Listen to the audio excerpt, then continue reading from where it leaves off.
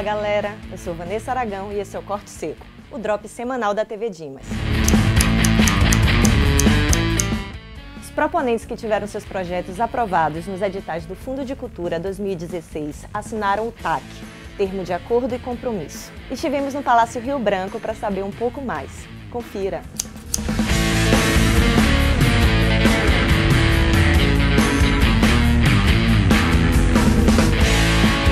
Os editais são uma ferramenta que foram super importantes né, e foram lançadas e foram é, desenvolvidas e aperfeiçoadas ao longo desses anos, de tal maneira que até os governos de direita, os governos tal, estão adotando os editais como uma forma de distribuição de recursos, porque é uma forma de, democrática, né, de você distribuir recursos públicos para projetos, é, processos que vão é, beneficiar o público.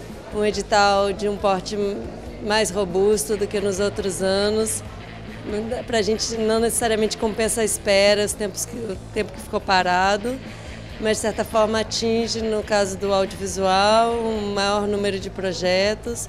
Acho que tem uma inovação que a gente buscou e que vários produtores buscaram, que é a abertura para projetos para televisão. Essa organização por, por categorias e tal favorece bastante a ampliação do número de projetos no audiovisual de uma forma geral. É, essa é uma etapa que é super difícil de levantar recurso mesmo e eu tenho visto como é importante você poder parar, parar um pouco para poder escrever, para poder pensar sobre o projeto, se debruçar sobre, sobre as escolhas que você quer fazer. Uma coisa que eu já faço sem dinheiro há muito tempo e aí eu acho que dá uma incrementada na, em tudo, na estética, no cabelo da atriz. Eu gostaria de beber hoje, comemorar, mas não vou, vou trabalhar, vou trabalhar, vou trabalhar. O cineasta Carlos Pronzato faz do audiovisual sua arma para trazer novos olhares sobre temas atuais. Dessa vez, ele nos conta sobre o filme A Escola Toma Partido. Confira. A gente coloca uma ferramenta de alta periculosidade, como é o cinema, como é o audiovisual, que extrapola os limites que, um, que, que, que, a literatura, que a escrita, que um jornal escrito pode atingir, e isso se multiplica, se multiplica e gera ações propositivas, ações de ir para a rua. O que é básico no cinema que eu desenvolvo é a entrevista.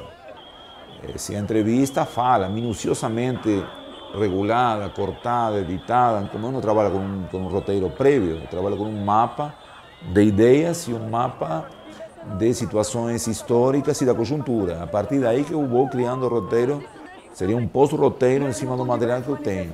Numa escola toma partido, é basicamente um filme de entrevistas de educadores e professores, tendo como como grande eh, porta de abertura ao tema a viúva de Paulo Freire, Anita Freire. Eu, eu não eh, diferencio a luta do professor da luta do estudante, é a mesma luta, e dos trabalhadores em educação, que justamente o que se quer desde o poder é mostrar que isso não deveria acontecer. Mas, basicamente, o que, o que é o interesse desse tipo de cinema é o ativismo político, que não seja uma coisa jata, que não seja uma coisa nem panfletária, nem aquela coisa de boletim de sindicato, boletim de partido político, é uma coisa que vai além. Tanto é que não para de circular e é uma efervescência constante. A política que realmente faz o dia a dia, o cotidiano das pessoas. E se ligue, tá rolando até a próxima quarta-feira, dia 16, o Panorama Internacional Coisa de Cinema.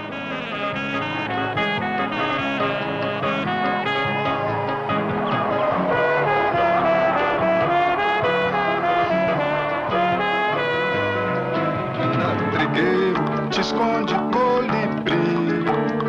Voa macuco, voa viúva, o jariti.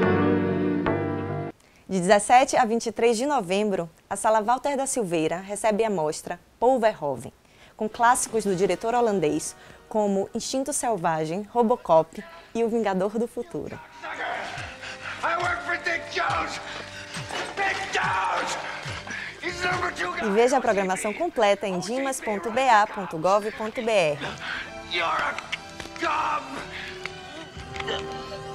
Esse foi o Corte Seco.